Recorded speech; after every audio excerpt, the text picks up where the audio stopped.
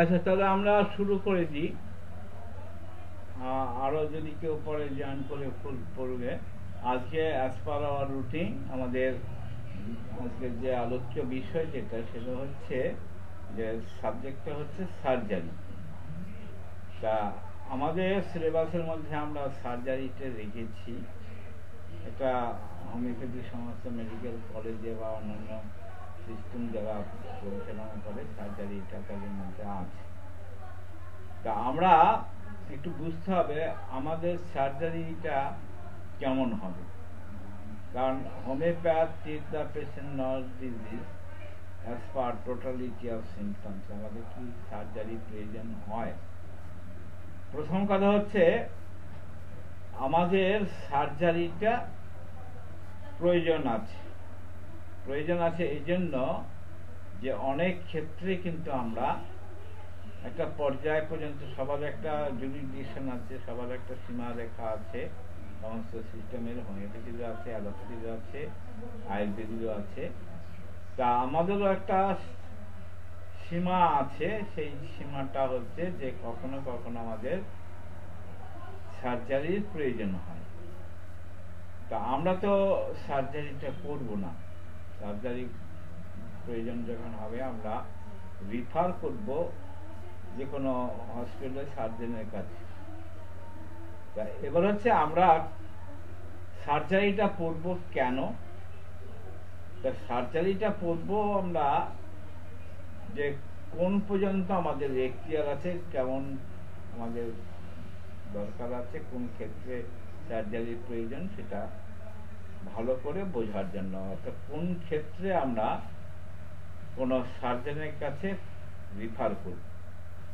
তাহলে সার্জনের কাছে রিফার করার ক্ষেত্রে আমাদের যেটা দরকার সার্জারি কি করা হয়, কেন করা হয়, তার সুফল, কুফল ইত্যাদি নিয়ে আমরা আলোচনাটা করি তা আমরা এর আগেও সার্জারি কিছু কিছু টপিকস আলোচনাটা করেছি।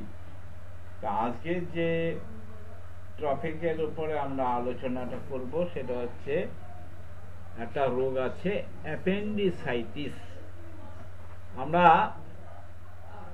বারবার একটা কথা বলেছি আপনাদের বোঝার সুবিধার জন্য, যে মেডিকেল টার্মে আমরা কোনো অর্গানের যদি ইনফ্লামেশন অ্যান্ড ইরিটেশন হয়, সেই অর্গানের নাম দিয়ে আইটিস যুক্ত করলে একটা ডিজিজের নাম বলা হয়।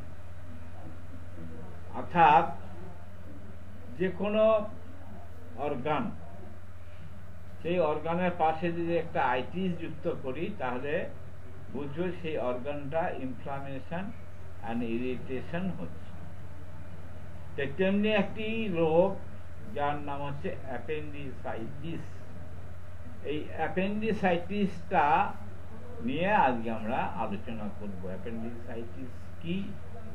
আমরা অ্যাপেন্ডিসাইটিস হলে কোন পর্যায়ে অপারেশনের কথা বলব আর কোন পর্যন্ত আমাদের হোমিওপ্যাথিক ওষুধ দিয়ে চিকিৎসা করব সেই সমস্ত নিয়ে আমরা আলোচনা করতে পারি তবে অ্যাপেন্ডিসাইটিস হচ্ছে অ্যাপেন্ডিক্স বলে আমাদের যে একটা অর্গান আছে সেই অর্গানটা আইটিস হয়েছে, অর্থাৎ ইনফ্লামেশন অ্যান্ড ইরিটেশন হয়েছে, তখন আমরা বুঝব এটা অ্যাপেন্ডিসাইটিস তা অ্যাপেন্ডিসাইটিস আগে বুঝতে হবে যে অ্যাপেন্ডিসাইটিসটা কি, কাকে বলে, এর কারণ এবং শ্রেণীভাগ এই সমস্ত করতে হবে।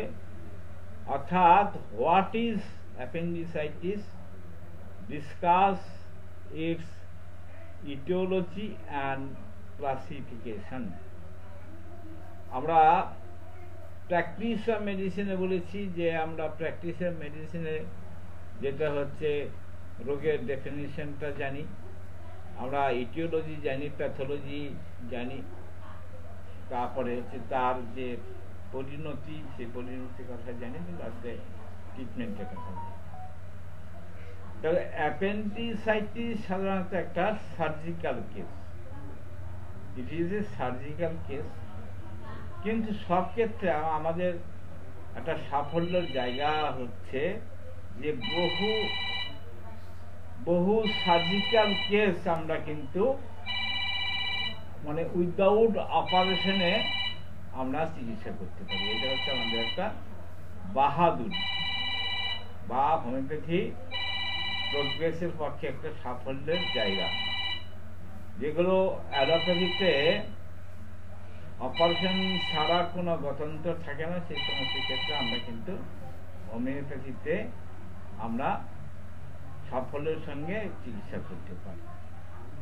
তাহলে অ্যাপেন্ডিসাইটিসটা কি এটা যদি বুঝতে হয়, তাহলে বুঝতে হবে আমাদের যে অ্যাবডোমেন আছে যাকে উদর বলা হয়, সেই অ্যাবডোমেনের ডান দিকে, ডান ভাগে একটা অংশ, সেটা একটা, ওখানে একটা অর্গান আছে, দেখতে অনেকটা কৃমির মতো। তাকে অন্ত্রের ভার্মিফর্ম, অ্যাপেন্ডিক্স বা উপাঙ্গ নালী বলে। অর্থাৎ আমাদের যে অ্যাবডোমেন অ্যাবডোমেনের মধ্যে যে অন্ত্র আছে, অন্ত্রের যে ভার্মিফর্ম অ্যাপেন্ডিক্স ভার্মিফর্ম অ্যাপেন্ডিক্স, এই অ্যাপেন্ডিক্সের বাংলায় বলা হয় উপাঙ্গ নালী। এই উপাঙ্গ নালীতে যদি ইনফ্লামেশন অ্যান্ড ইরিটেশন হয়, তাকে আমরা বলি অ্যাপেন্ডিসাইটিস এই উপাঙ্গ নালীটি বা এই অ্যাপেন্ডিক্সের একদিকে উন্মুক্ত থাকে অপর দিক বন্ধ থাকে। আমরা যখন অ্যানাটমি পড়ব অ্যানাটমিতে তখন এটা নিয়ে আমরা তার ছবি সহ দেখাবো যে অ্যাপেন্ডিক্সটা কী। তাদের অ্যাপেন্ডিক্সের একটা অংশ বন্ধ থাকে আর একটা খোলা থাকে। এই উন্মত্ত দিক দিয়ে কোনো খাদ্য বা অন্য কোনো দ্রব্য এর ভিতর ঢুকলে তা আর বের হতে পারে না। প্রথমে বললাম যে উপাঙ্গ, যে অ্যাপেন্ডিক্স একটা দিক খোলা থাকে, একটা দিক বন্ধ থাকে, এই খোলা দিক দিয়ে যদি কোনো রকম খাবার টাবার ঢুকে যায়, সেটা আর বেরোতে পারে না। তাহলে কোনো খাবার যদি একটা জায়গায় দীর্ঘদিন থাকে, তাহলে কি হয়? সেখানে একটা খাবারের পচন হয়। পচন হলে সেখানে আস্তে আস্তে একটা ইরিটেশন হয়। ইরিটেশনের সঙ্গে সঙ্গে ইনফ্লামেশনটা হয়। তাহলে প্রদাহ হয়। তা কোনো কারণবশত একটি নালী প্রদাহ হলে তাকে অ্যাপেন্ডিসাইটিস বলে বা উপাঙ্গ প্রদাহ বলে। ক্ষুদ্রান্ত যেখানে বৃহদান্ত্রের সঙ্গে মিশে গেছে, সেখানে একটি চড়ার মতো অংশ থাকে তাকে বলে সিকাম। আমরা এখনও সেইভাবে অ্যানাটমিটা পড়িনি, অর্থাৎ আর অর্গানগুলোকে ভালো করে চেনানোর সুযোগ নেই। আমরা ধাপে ধাপে যে অ্যানাটমি যে ক্লাসগুলো, সেখানে আমরা চেষ্টা করব এবং ছবি সহ সেখানে দেখানোর চেষ্টা করব। তা এবার হচ্ছে এই সিকামের সঙ্গে যে অ্যাপেন্ডিক্স যুক্ত থাকে, এর মুখে একটি ভাল্ব থাকে, এই ভাল্বের জন্য উপাঙ্গের খাদ্য প্রবেশ করতে পারে না। তাহলে এই যে সিকামের সঙ্গে অ্যাপেন্ডিক্সের যেখানে রয়েছে, সেখানে এটা ভাব থাকে, যার ফলে সবসময় খাবারটা সেখানে ঢুকতে পারে না। এবার হচ্ছে এই অ্যাপেন্ডিক্সের নালীর উপরে মুখ খোলা এবং উন্মুক্ত ভাল্বের সঙ্গে সংযুক্ত থাকে, কিন্তু নিচের দিকে বন্ধ থাকে। এবার এটা হলো, সেটা আমরা আগেও বললাম যে ওখানে যে খাবারগুলো যদি ঢুকে যায় এবং আটকে থাকে, তাহলে সেখানে একটা পচন সৃষ্টি হয়। সেই পচন সৃষ্টির ফলে সেখানে প্রদাহ বা ইনফ্লামেশন ইরিটেশন এগুলো হয়। তা এইটা আর একটু বলে আগে থেকে বলে রাখা ভালো। এই অ্যাপেন্ডিক্স কেটে বাদ দিলেও কিন্তু কোনো ক্ষতি নেই। তা ঈশ্বর সৃষ্টি করেছে। সুতরাং যতক্ষণ ভালো থাকে ততক্ষণ ওকে রাখতে হয়। কিন্তু যদি কোনো কাজের ব্যাঘাত ঘটায়, কোনো ইরিটেশন বা ইনফ্লামেশন সৃষ্টি করে, তখন ওটাকে বাদ দিলে কোনো অসুবিধা নেই। এবার হচ্ছে এটা কেন হয়? এই ইনফ্লামেশন আর ইরিটেশনটা কেন হয়? বিভিন্ন কারণে এই অ্যাপেন্ডিক্সের প্রদাহ সৃষ্টি হয়। সাধারণত উপাঙ্গ নালীর মধ্যে খাদ্য বা অন্য কোনো দ্রব্য যদি ঢোকে, সেখানে আগে বলেছিলাম যে সেখানে পচন সৃষ্টি করে একটা প্রদাহ সৃষ্টি করে। অতিরিক্ত আহার, যদি আমরা খুব বেশি রকম আহার করি, মলের গুটলি সৃষ্টি বা কোষ্ঠকাঠিন্য তৈরি হয় কৃমি থাকে, তাড়াতাড়ি আহার করার ফলে কিছু সমস্যা হয়। আহারের পরে কোনো গাড়ি, বাহন ব্যবহার করলে যদি দাঁড়ানো হয় ইত্যাদি কারণেও এটা হতে পারে। তাহলে আমরা প্রাথমিকভাবে যেটা দেখছি, সেটা হচ্ছে কনস্টিপেশন যদি হয় কনস্টিপেশন হলে মল সৃষ্টি বা কোষ্ঠকাঠিন্য দেখা যায় কৃমির জন্য হতে পারে। আর আমরা খাওয়ার নিয়মটা হচ্ছে যে সমস্ত আমরা আহার্য খাই সেটা ধীর স্থিরভাবে খেতে হয়, কিন্তু অনেক সময় প্রয়োজনের তাগিদে আমরা হুটাপাটা করে খুব দ্রুততার সঙ্গে খাই। সেটা ঠিক নয় আহারের খাওয়া দাওয়ার পরে কোনো গাড়ি ঘোড়া, যেমন সাইকেল মোটর সাইকেল বা অন্য কোনো যানবাহন ব্যবহার করলে সেখানে এই সমস্ত ট্রাভেল করার ফলে অনেক সময় এটা হয়। নানা ধরনের জীবাণু বা বীজাণু, যাই বলুন না কেন, এই রোগের সৃষ্টির কারণ হতে পারে। এছাড়াও নানা ধরনের জীবাণু বা বীজাণু এ রোগের সৃষ্টির কারণ হতে পারে। নানা ধরনের এছাড়া কোলাই, ব্যাসিলি, পেট্রোকক্কাস স্ট্যাফাইলোকক্কাস এবং পেটিয়াস ব্যাসিলাস ইত্যাদি জীবাণু দ্বারা এই রোগ সৃষ্টি হতে পারে।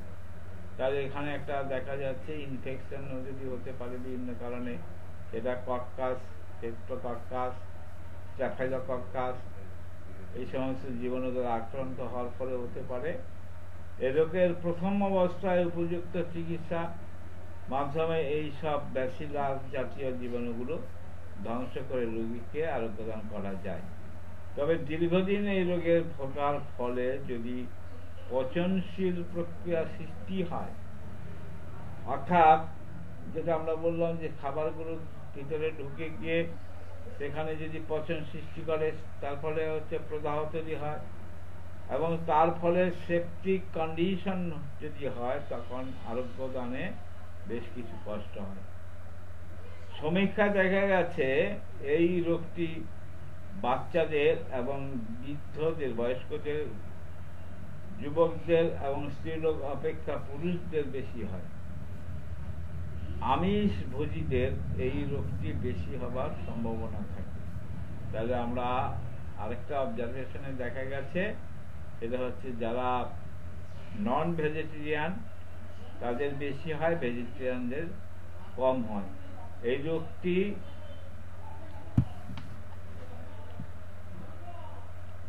মধ্যবিত্তের তুলনায় অবস্থাপনাদের বেশি দেখা যায়। আচ্ছা যেটা মূল বিষয়, যেটা যাদের অবস্থা ভালো, তাদের লক্ষ্য রাখবেন, তারা কিন্তু ফাস্টফুডের প্রতি ঝোঁক বেশি। এই ফাস্টফুড খাওয়ার প্রবণতা কিন্তু একটা অন্যতম কারণ। অনেক সময় কোলাইটিস থেকেও ধীরে ধীরে এই রোগটি সৃষ্টি হতে পারে। কোলাইটিস কাকে বলে? আমরা প্রথমেই বলেছিলাম যে কোনো অর্গানের সঙ্গে যদি একটা আইটিস যোগ করা হয়, সেই অর্গানের নাম দিয়ে সে রোগটি চিহ্নিত করা হয়। তাহলে কোলন, আমাদের দেহের মধ্যে কোলন আছে। কোলনে যদি আইটিস যুক্ত হয় অর্থাৎ কোলাইটিস তাকে ওই কোলনের মধ্যে ইনফ্লামেশন আর ইরিটেশন হলে তাকে বলা হয় কোলাইটিস তাহলে ইনফ্লামেশন আর ইরিটেশন হলে কোলাইটিস বলা হয়। কোলাইটিস থাকলে কিন্তু এই রোগের প্রবণতাটা বেশি থাকে। কোলাইট কোলাইটিস থাকলে এই রোগের প্রবণতা বেশি থাকে। আরেকটা বিষয় হচ্ছে আমরা যে বিভিন্ন যে পেশি, মাংস পেশিগুলো আছে, সেই পেশি আবরণ যদি দুর্বল থাকে সেই ক্ষেত্রেও কিন্তু আমাদের ওই অ্যাপেন্ডিসাইটিস হওয়ার একটা প্রবণতা থাকে।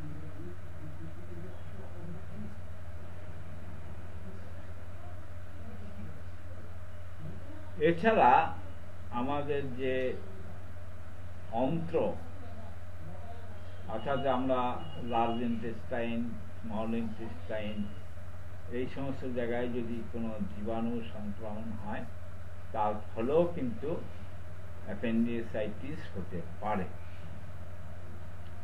এছাড়া যেমন এই জীবাণুগুলোর মধ্যে অন্যতম হচ্ছে কৃমি হুক এই সমস্ত জীবাণু হতে পারে। আমরা আগেও বলেছি যে স্টেফাইলোকাক্কাস পেট্রোকাক্কাস এই সমস্ত ইনফেকশন হতে পারে। আর একটা হচ্ছে অতিরিক্ত প্রোটিন জাতীয় খাদ্য গ্রহণ এই কারণেও হতে পারে। বেশি বেশি মাত্রায় যদি আমরা প্রোটিন জাতীয় খাদ্য খাই, তাহলে কিন্তু অ্যাপেন্ডিসাইটিস হতে পারে। এবার আসা যাক অ্যাপেন্ডিসাইটিসের শ্রেণি বিভাগ অ্যাপেন্ডিসাইটিসের শ্রেণি বিভাগ হচ্ছে অবস্থাগত দিক থেকে এই রোগকে তিন ভাগে ভাগ করা যায়। অ্যাপেন্ডিসাইটিসকে তিন ভাগে ভাগ করা যায়। একটা হচ্ছে ইনফ্লামেশন অবস্থা, অর্থাৎ প্রদাহ অবস্থা। আর হচ্ছে আলসারের অবস্থা, অর্থাৎ ক্ষতযুক্ত অবস্থা। আর হচ্ছে পচনশীল অবস্থা। তাহলে আমরা অ্যাপেন্ডিসাইটিসের তিনটে শ্রেণি বিভাগ করতে পারি। অ্যাপেন্ডিসাইটিসের তিনটে শ্রেণি বিভাগ করতে পারি। একটা হচ্ছে প্রবাহ অবস্থা। আরেকটা হচ্ছে ক্ষতযুক্ত অবস্থা। আলসারেটেড কন্ডিশন যখন হয়, আরেকটা হচ্ছে পচনশীল অবস্থা। তবে প্রবাহ অবস্থা কিসের কারণে প্রবাহ অবস্থাটা হয়? কোষ্ঠকাঠিন্য, অতিরিক্ত মাছ, মাংস খাওয়া, উপাঙ্গের মধ্যে মল, মাছের কাটা, ছোট হাড়ের টুকরো ইত্যাদি কোনো পদার্থ প্রবেশ করে যে প্রবাহ সৃষ্টি করে তাকে বলা হয় প্রবাহ অবস্থা। তবে প্রবাহ আমরা তিনটে স্টেজের কথা বলেছি, তিনটে স্টেজ। একটা হচ্ছে প্রবাহ অবস্থা প্রবাহ অবস্থাটা কেন হয়? অর্থাৎ প্রবাহ অবস্থাটা হয় যে অনেকেরই বেশিরভাগ ক্ষেত্রে দেখা যায় একটা কনস্টিপেশনের ভাব আছে। আর আরেকটা হচ্ছে মাছ, মাংস যেটা আমিষ খাবার, সেই আমিষ খাওয়ার ফলে তার প্রোটিন বেশি গ্রহণ করা হয়ে যায়। এটা একটা কারণ। আর হচ্ছে আমাদের যে স্টুল সেই স্টুল অনেক সময় ঘুরতে গুড্ডে হয়ে গিয়ে সেখানে একটা প্রবাহ হয়। অনেক সময় মাছের কাটা, তারপরে ছোট মাংসের হাড় এই সমস্ত পদার্থ সেখানে ঢুকে গিয়ে প্রদাহের সৃষ্টি করে। তাকে বলা হয় প্রদাহ অবস্থা। দ্বিতীয় পর্যায়ে যেটা রয়েছে, সেটা হচ্ছে ক্ষতযুক্ত অবস্থা। অর্থাৎ এই অবস্থায় অ্যাপেন্ডিক্সের ভিতরে ক্ষত সৃষ্টি হয় অথবা ছিদ্রের সৃষ্টি হয়। ক্ষত অবস্থাটা কি? এই ক্ষত অবস্থা হচ্ছে অ্যাপেন্ডিক্সের ভিতরে ক্ষত সৃষ্টি হয় অথবা ক্ষত হয়ে ছিদ্র হয়। এটাকে ক্ষত অবস্থা বা আলসারেটেড স্টেজ বলে। এতে ভয়ানক জ্বালা যন্ত্রণা সৃষ্টি করে। আপনারা যদি কারও কেউ অ্যাপেন্ডিক্স রুগী দেখিয়ে থাকেন, তাহলে দেখবেন যে প্রচণ্ড জটল এসে যায়, প্রচণ্ড যন্ত্রণা, এটাকে বলে ক্ষত অবস্থা।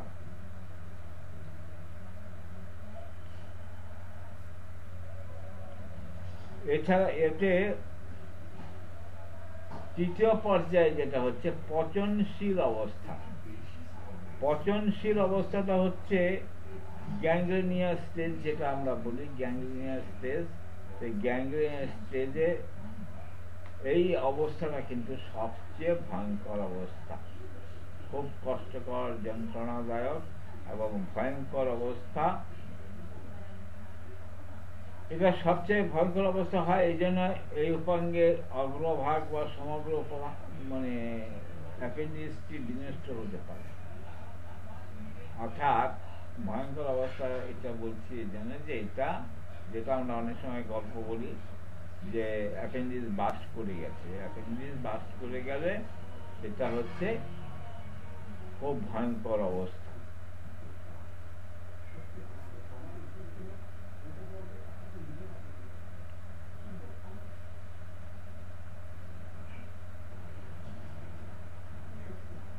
এছাড়া বারবার যে ইনফ্লামেশন বা প্রদাহিক আক্রমণের ফলে পুরাতন প্রদাহর অবস্থা সৃষ্টি হতে পারে এবং একে ক্রনিক ইনফ্লামেশন বলে। অনেক দিন ধরে প্রদাহ থাকলে তাকে বলা হয় ক্রনিক ইনফ্লামেশন এর ফলে আমাদের যে অ্যাপেন্ডিক্সটা অ্যাপেন্ডিক্সের সঙ্গে যে ফিকাম এবং ক্ষুদ্রান্ত কিছু অংশ একসঙ্গে জড়িত হয়ে অন্ত্রনালীর আংশিক বা সম্পূর্ণ অবরুদ্ধ অবস্থা সৃষ্টি হতে পারে। আমরা জানি যে আমাদের যে ইন্টেস্টাইন যেগুলো আছে, সেখানে যে সংযোগ স্থলে, সেটা একটা পচন সৃষ্টি হতে পারে। তা এই ফলে কি হচ্ছে? আমাদের কীভাবে এটাকে আমরা মোকাবেলা করব? সেটা হচ্ছে তার ক্লিনিক্যাল ফিচার নিয়ে আমরা একটা আলোচনা করতে পারি। ক্লিনিক্যাল ফিচারে এই রোগের আক্রান্ত রোগীর বিশেষ কয়েকটি লক্ষণ অতি স্পষ্টভাবে লক্ষ্য কিনি অর্থাৎ আমরা মানে ডায়াগনোসিস যে করব, সেই ক্লিনিক্যাল ফিচার দেখে কিছু ডায়াগনোসিস লাভ মানে করতে পারব। তার মধ্যে কতগুলি লক্ষণ খুব স্পষ্ট থাকবে। ডান দিকে ইলিয়াক খোসা, সেখানে একটা যন্ত্রণা হবে প্রচণ্ড যন্ত্রণা। ডান দিকে যে ইলিয়াক যে শশা সেখানে একটা যন্ত্রণা হবে। দ্বিতীয় হবে হজম শক্তির অভাব ঘটে। দ্বিতীয় হচ্ছে হজম শক্তির অভাব হয়। আর হজম শক্তির অভাব হয়।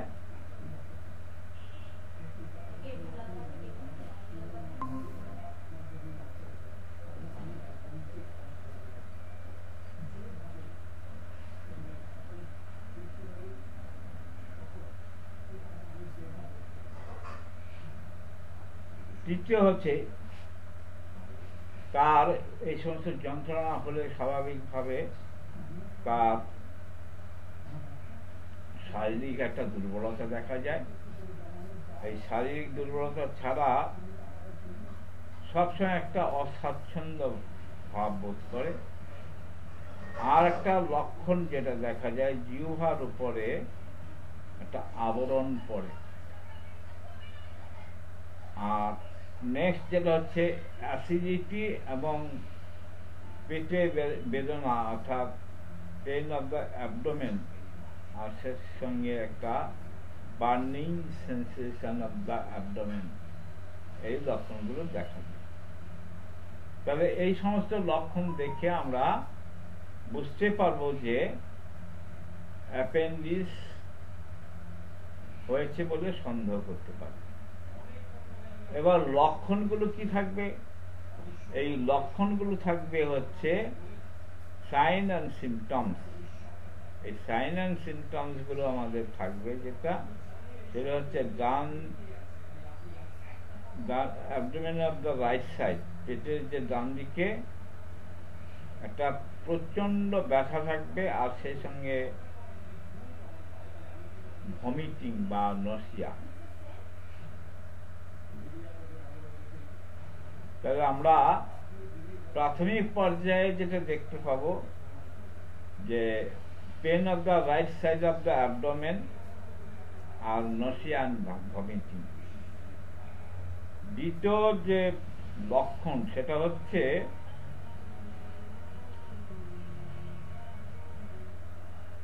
যন্ত্রণাটা এতটাই বেশি হয় যে রুগী কিন্তু অস্থির হয়ে ওঠে।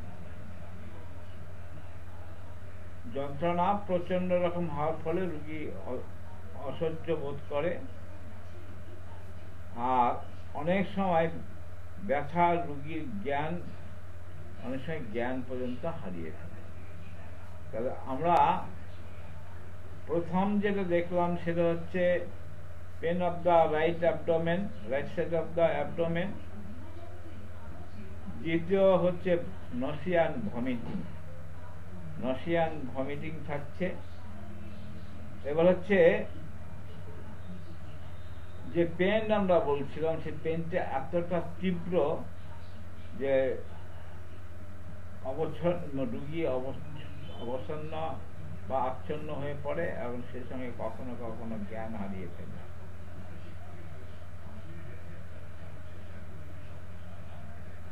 আর এই যে ব্যথাগুলো, যে right side of the abdomen এই ব্যথাটা অনেক সময় কাম সাডেনলি গোস সাডেনলি তাহলে আমরা যে একটা ওষুধ আমাদের আছে, যেটা হচ্ছে পেন হচ্ছে come suddenly go suddenly like a storm তাহলে আমরা পেন কাম সাডেনলি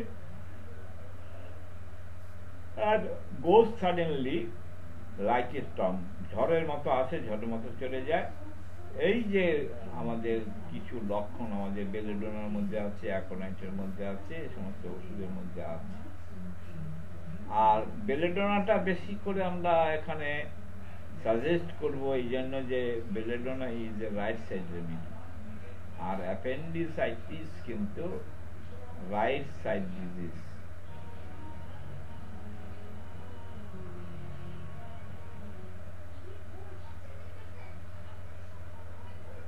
আচ্ছা আরেকটি লক্ষণ যেটা, সেটা হচ্ছে প্রচণ্ড জ্বর হয় আর প্রচণ্ড মাথার যন্ত্রণা হয়।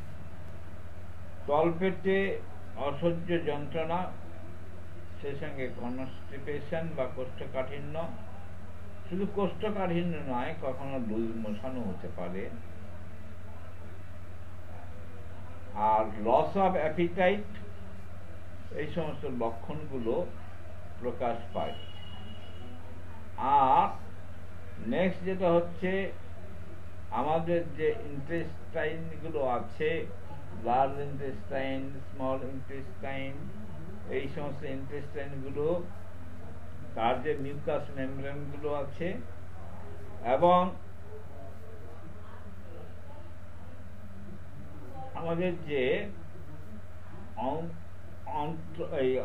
অন্য নালী যেটা, সেই নালী কিছু গোলমাল দেখা যায় এবং অ্যাপেন্ডিস স্থানের মানে স্পর্শ কাতর হয়ে ওঠে। যন্ত্রণা যেখানে অ্যাপেন্ডিস যে রিজিনটা, সেই রিজিনটা হচ্ছে ডান দিকে Lord, right side of the abdomen, upper abdomen, সেখানে কিন্তু রাইট সাইডে সে কোনো রকম টাচ করতে দেয় না। তবে এই লক্ষণটা কিন্তু আমাদের বেলেডোনার মধ্যে রয়ে গেছে।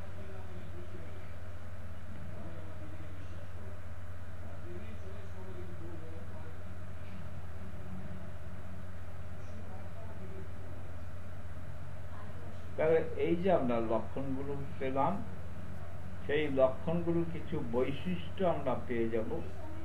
সে বৈশিষ্ট্যটা হচ্ছে পেটে ব্যথা। পেটের অভ্যন্তরে হঠাৎ প্রচণ্ড ব্যথার সৃষ্টি এবং এই অসহ্য যন্ত্রণা যেন পেটের চারদিকে ছড়িয়ে পড়ে, পেটের মধ্যস্থলে অথবা সমস্ত পেটে জুড়ে হঠাৎ প্রচণ্ড বেদনা সৃষ্টি হয়।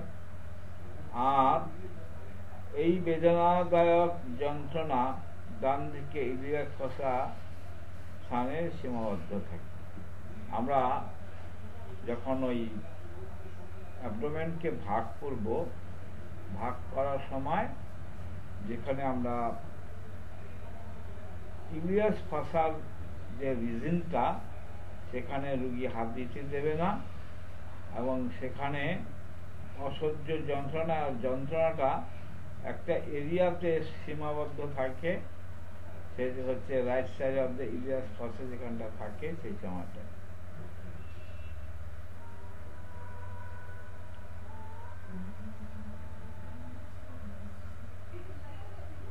অ্যাপেন্ডিসের অবরুদ্ধ অবস্থা আপেক্ষিক বেদনা সৃষ্টি হয়, কিন্তু এর সঙ্গে জ্বর বা নারী তেমন বেগ থাকে না।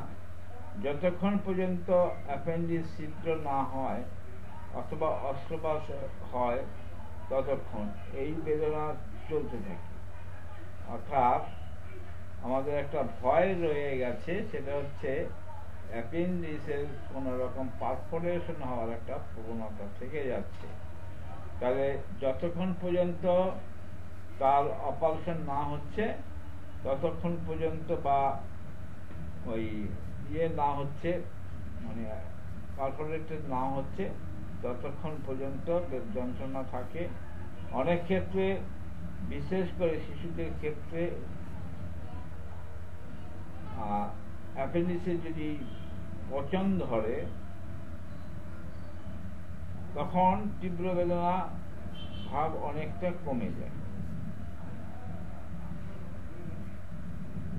এবং কোন কোন ক্ষেত্রে অ্যাপেন্ডিসের প্রদাহ ফোড়ার মতো মনে হয়, একে অ্যাপেন্ডিকুলার অ্যাবসেন্স বলে। তা অ্যাপেন্ডিসাইটিসের সঙ্গে অ্যাপেন্ডিকুলার অ্যাবসেস যে খানিকটা মিল আছে। এমন অবস্থায় রুগী যেমন বেদনা, ভাব অনুভব করতে পারে না, সুতরাং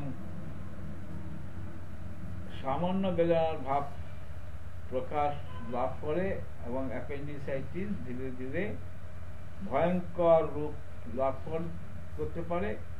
অথচ বাহ্যিকভাবে চিকিৎসক সেটা ধরতে পারে না। তবে চিকিৎসক কিন্তু অনেক সময় ধরতে পারে না। এবার হচ্ছে আর কি কি আমরা পাবো সেখানে?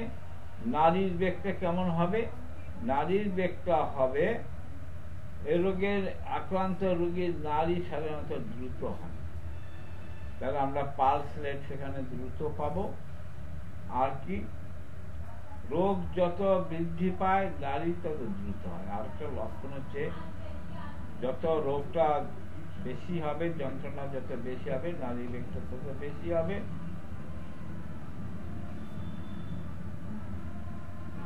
আরেকটা ভয়ঙ্কর ব্যাপার থাকে যেটা, সেটা হচ্ছে যে অ্যাপেন্ডিক্স যদি অবরুদ্ধ অবস্থা থাকে, তাহলে তখন কিন্তু নারীর বেগ দ্রুত হয় না। রোগ নির্ণয়ের ক্ষেত্রে নারীর অবস্থাটা বেশ গুরুত্বপূর্ণ তাহলে আমরা যেটা লক্ষ্য করলাম, সেটা হচ্ছে নারীর গতি দেখে কিন্তু আমরা অ্যাপেন্ডিসের কিছু আইডেন্টিটি বের করতে পারি নেক্সট হচ্ছে জ্বর। অ্যাপেন্ডিসের ক্ষেত্রে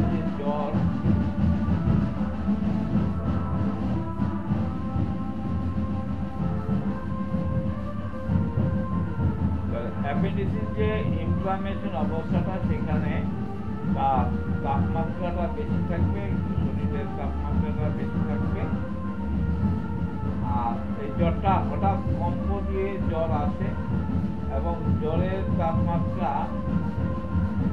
একশো থেকে একশো দুই ডিগ্রি।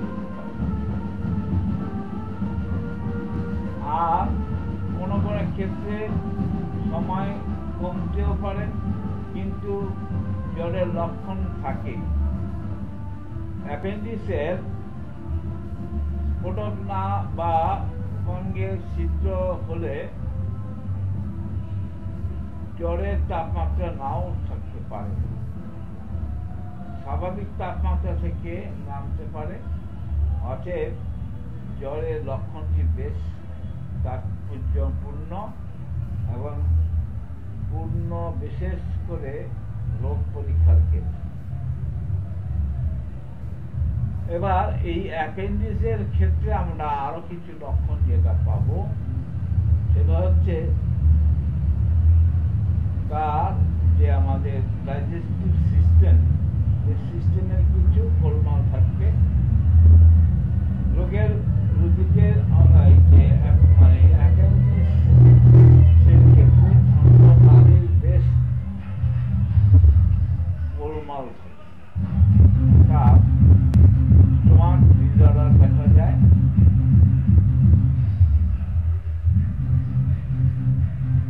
আরেকটা লক্ষণ আমরা জানি, সেটা হচ্ছে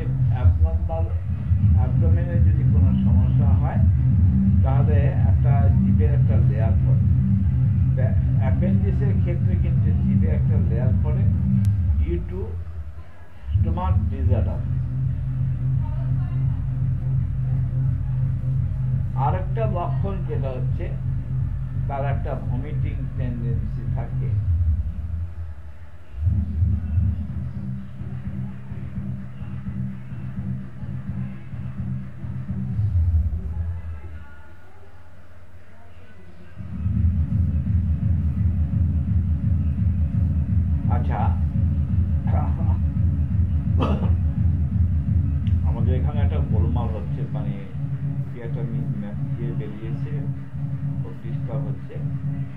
তা